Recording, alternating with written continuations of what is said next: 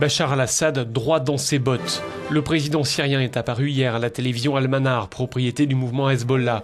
Une interview dans laquelle il a dit être confiant dans la victoire de ses troupes face aux insurgés. Il a indiqué avoir reçu des missiles solaires de la part de la Russie. Cela dit, des sources à Moscou affirment ce vendredi que les livraisons n'ont pas encore eu lieu. Sur le plan politique, il a affirmé qu'il pourrait se présenter à la présidentielle de 2014. Sur le plan diplomatique, enfin, il a fait part de son intention de participer à la conférence internationale qui pourrait avoir lieu à Genève, mais il pose une condition.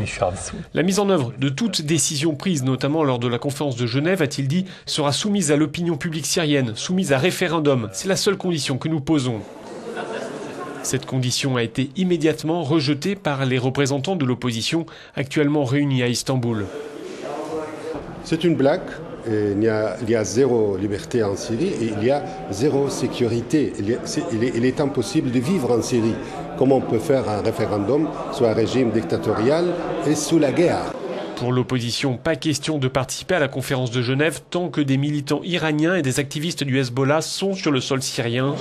L'opposition maintient également comme exigence le départ du président Bachar al-Assad.